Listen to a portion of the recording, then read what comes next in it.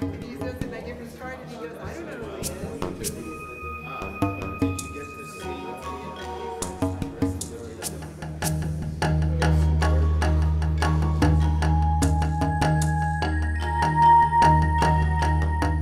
We started the Eppendorf and Science Prize in 2002. It was actually presented the first time in November then that year. And in 2001, uh, we worked with our partners at Science together to found this prize.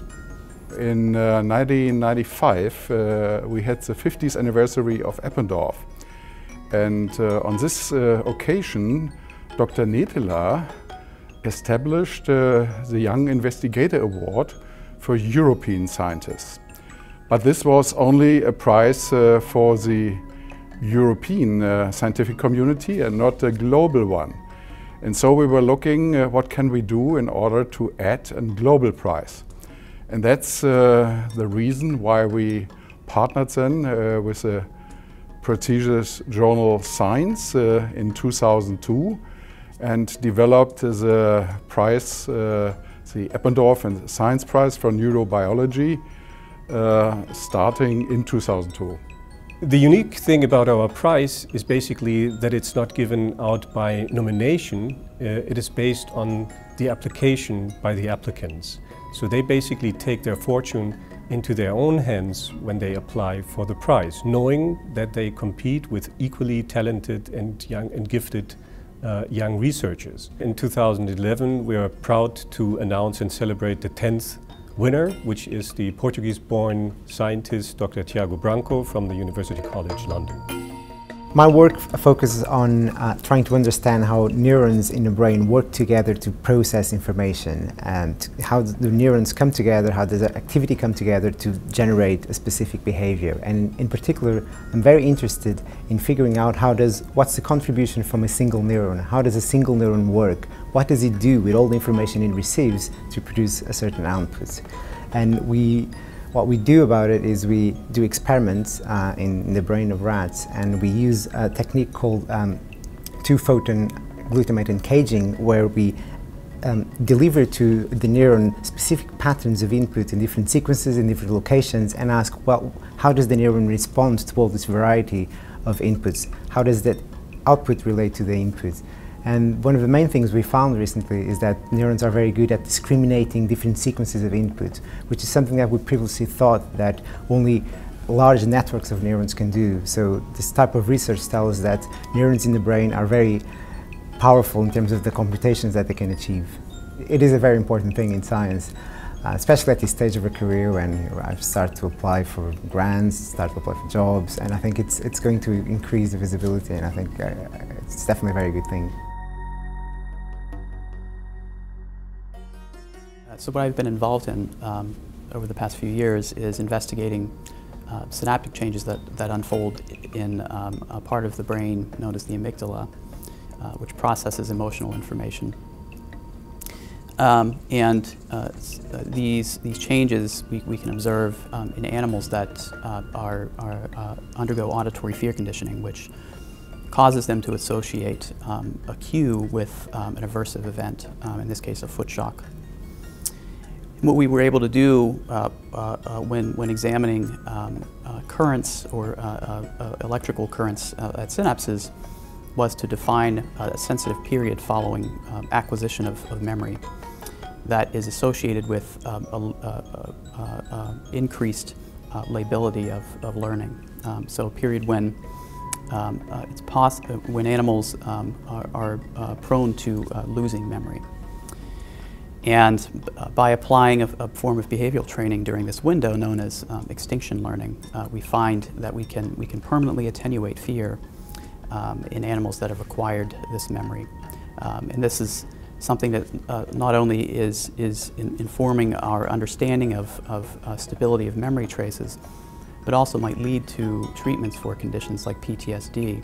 Uh, uh, if, we can, if we can intervene uh, early after a traumatic event, it might be possible to prevent the development of, of anxiety disorders. My laboratory studies the mechanisms of human neurodegenerative diseases. So these are diseases like Alzheimer's disease and Parkinson's disease and ALS, or also called Lou Gehrig's disease. And many of these diseases have in common that proteins form clumps in the brains of patients with the disease. And my laboratory is trying to figure out the mechanisms by which these clumps of proteins damage neurons and cause disease. The approach we're taking to tackle this is a little bit unusual in that we are using simple baker's yeast to study and model this protein misfolding problem. And um, this is research that I started when I was a postdoctoral fellow with Susan Lindquist at the Whitehead Institute. And we had been studying um, the Parkinson's disease protein called alpha-synuclein and found that using yeast we were able to uncover important features of the misfolding and clumping process and what effects this has on cells. So when I started my own laboratory at the University of Pennsylvania, I began studying a protein that had just been identified as being important in the motor neuron disease ALS, or Lou Gehrig's disease. This protein was called TDP43, and when we put this protein into yeast, it started forming clumps and damaging yeast cells, perhaps in a similar way that it might damage neurons um, in patients with the disease. So then um, what we did was we harnessed the power of the yeast system into in allowing us to perform large-scale genetic screens. So asking, can we find genes that when we put them into yeast could allow the cells to grow better, even though they had this toxic TDP43 um, ALS disease-causing protein? And we found some of them. And um, what the essay is about is that we took one of the genes from, from that yeast screen, a yeast gene, and with a collaboration with my colleague at Penn, Dr. Nancy Bonini, we tested this genetic interaction in the fruit fly, and we found that it did the same thing in flies that it did in yeast cells. Then we extended our findings to mammalian cells, to human cells. And then finally, uh, what we did was we asked, what about the relative, the homologue of that gene that we found in yeast? Could we find mutations in that in human patients? So we surveyed a large number of human patients with ALS, and we actually found quite common mutations or changes in, in this gene as a genetic risk factor for ALS. So it's really opened my lab up to a whole new area of research, starting from simple yeast, going all the way up to uh, state-of-the-art human genetics. We do it in two steps, a little bit similar to um, the selection process at Science magazine. That means all the essays will be judged in the first round by myself and my colleagues at Science magazine. And at that stage, we only try to find out who are the best of the whole lot. The second round then is judged by external judges. So it's usually like this that I will send the whole essay plus the CV plus what they have done scientifically to the external judges and then at some stage I will organize a video conference and at the video conference we will be together and decide.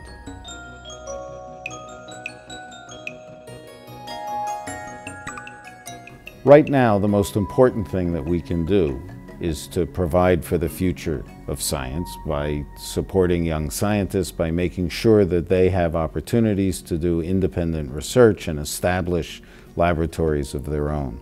I've been a young scientist many decades ago myself, and uh, I know that uh, very often young scientists uh, move away from science because they feel there's not the appropriate recognition. Um, in today's world, I would add, there's also much less funding today than there used to be. So in this environment, I think it's a great way of giving them the appropriate platform and uh, also um, the kind of feedback from their uh, from the society around them that it's worthwhile staying in science. I think it's an important prize because it signifies the commitment, first of all, of a major company to the future of science. And secondly, it reinforces the belief that the rest of the scientific community considers young scientists so central to the present and to the future. I didn't think I have a really strong chance of winning. You know, I just some colleagues suggest you apply, and then I said, well, hmm, really, and then go apply, and I, yeah, I wouldn't say I thought I had a really strong chance. I certainly didn't, especially looking at the list of past winners, which is quite daunting. if you think you have the slightest chance of, of winning, or if somebody tells you that they think that you have the slightest chance of winning, you should definitely go for it.